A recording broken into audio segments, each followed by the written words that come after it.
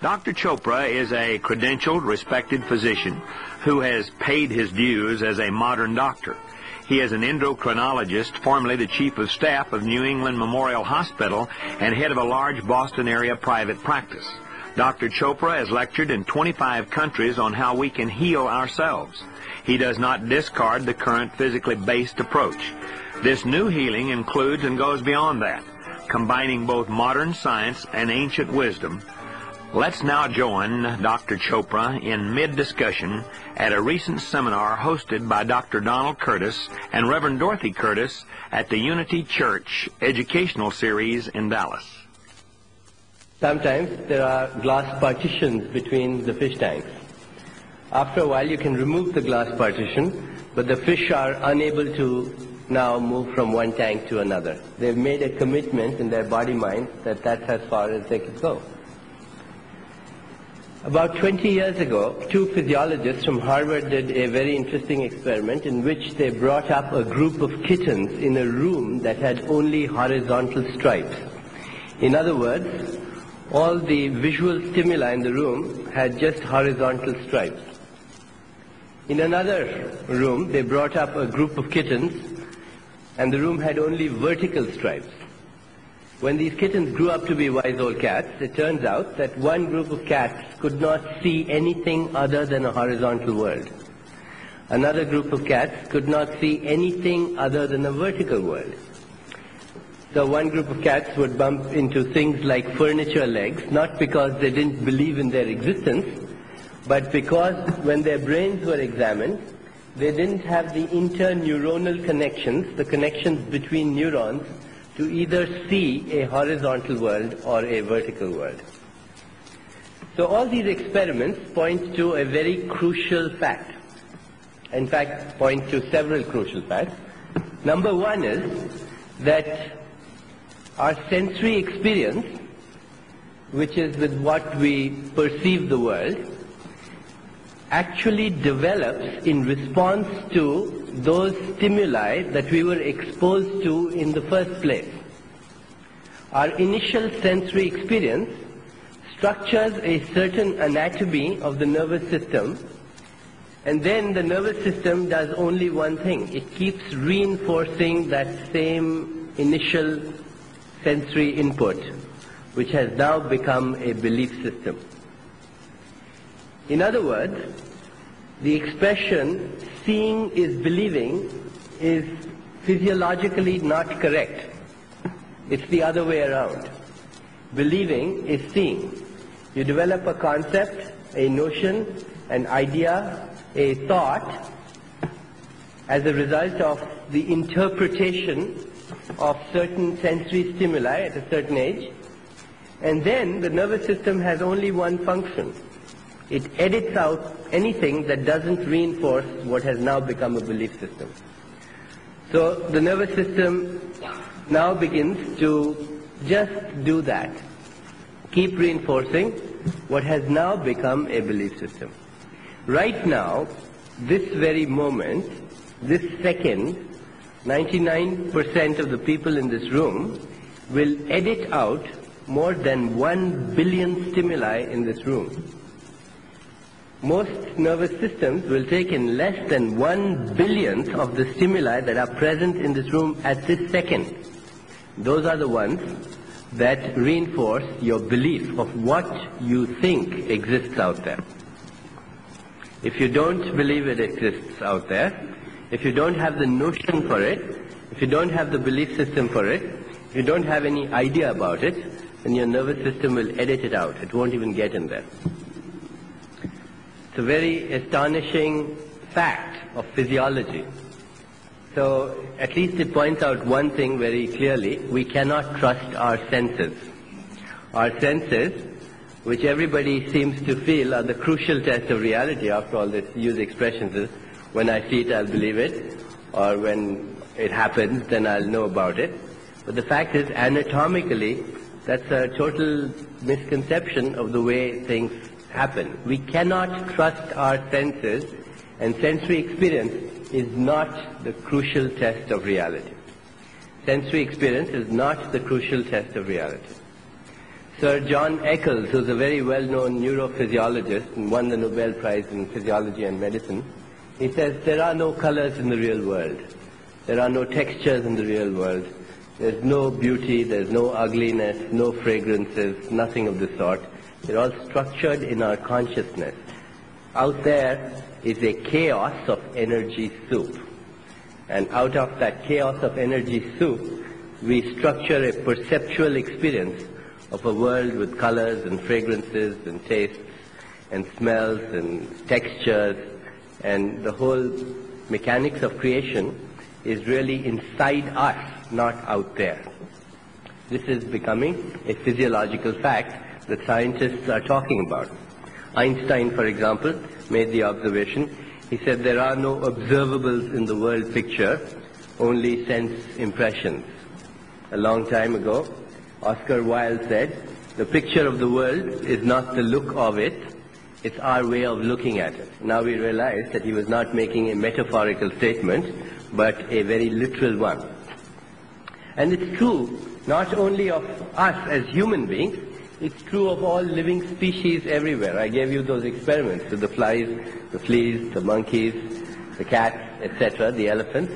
Their perceptual experiences are also structured in their consciousness as a result of initial sensory experience, which then subsequently reinforces initial sensory experience. The eye cells of a honeybee, when they look at a flower, they cannot see the same light wavelengths that you and I see.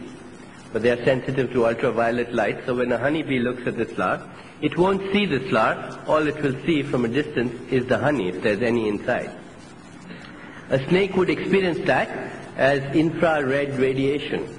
A bat would experience that as the echo of ultrasound. And a chameleon's eyeballs, two different axes, you can't even remotely imagine what that look, would look like to a chameleon. So what's its real look? What's its real nature? What's its real structure? Ask a physicist and he'll say one of two things. Either he'll say there's no such thing, or he'll say it's infinite possibilities. It's pure potentiality. And what we do is we freeze a field of possibilities into a certain perceptual experience according to preconceived notions, or what psychologists say, they call this phenomenon premature cognitive commitment.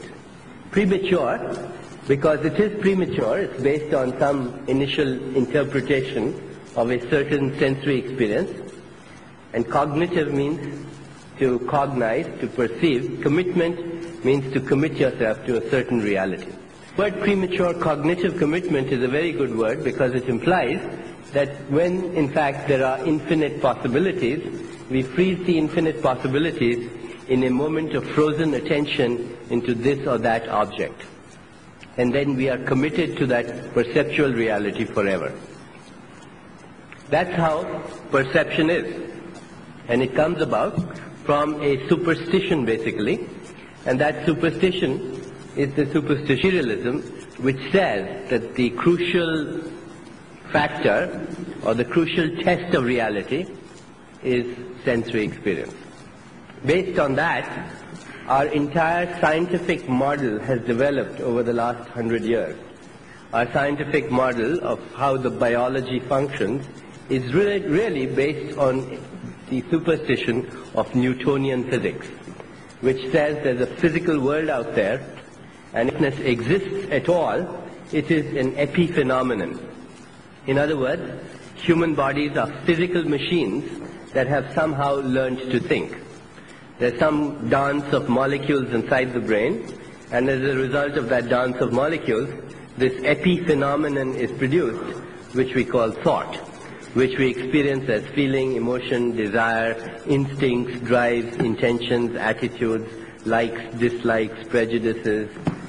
All this, all these feelings, all the things that we experience as love, compassion, etc., according to the Newtonian superstition, is just the dance of molecules. We are physical machines that have learned how to think. And this model then sees the human body as a frozen sculpture, fixed in space and time. And literally, the entire approach becomes completely and totally materialistic. We have frozen bullets, literally, to treat the frozen sculpture, magic bullets. If you can't believe you ate the whole thing, don't worry. All you have to do is take a couple of Alka-Seltzer. If you can't go to sleep at night, then you can take a sleeping pill. It will cure your insomnia. If you're feeling anxious, take a tranquilizer. It will give you tranquility. If you have an infection, take an antibiotic, and that will get rid of the basic reason why you have the infection. If you have chest pain, you can pop a nitroglycerin. Better still, have a bypass operation. If you have cancer, you can have chemotherapy, radiation, surgery, etc. These are the magic bullets of medicine based on the superstition of materialism. They're supposed to get rid of disease, but they don't because most of the time they are purely symptomatic approaches. They cover the symptoms of disease while the underlying process goes on. Or at best, they may interfere with the mechanisms of disease. And somehow people have confused, even scientists, have confused the mechanisms of disease with the origins of disease. The mechanisms of disease are not the origins of disease. So you can with the mechanism of disease. You say, I'll interfere with the multiplication of bacteria. That's how an antibiotic acts. But then bacteria develop alternative metabolic pathways, and you get antibiotic-resistant organisms. It's estimated, for example, that in the United States, 100,000 people die per year in this country, according to statistics from the California Medical Association, as a result of antibiotic-resistant organisms that are acquired in hospitals. 36% of all patients in hospitals suffer today from what is called iatrogenic disease, which means disease as a result of technical medical intervention. In the last 10 years, there has been an increase of 50 to 200% in certain types of cancer, and one of the emerging causes of cancer is the treatment of cancer, which renders a host completely immunocompromised by destruction of the immune system. Every 24 hours in the United States, Canada, and the United Kingdom, 80% of the population swallows a medically prescribed chemical. So we have really allowed the superstition to completely override all logic to the extent that today we still believe that the cure to AIDS, to cancer, and to all the diseases that mankind has today is some bullet out there, some material agent out there. It's based on model of the human body. In fact, a recent commentary from a social scientist at Harvard, he made the comment, he said the pain, dysfunction, disability and anguish resulting from technical medical intervention now rival the morbidity due to traffic and industrial accidents and even war-related activities, making the impact of medicine one of the most rapidly spreading epidemics of our time.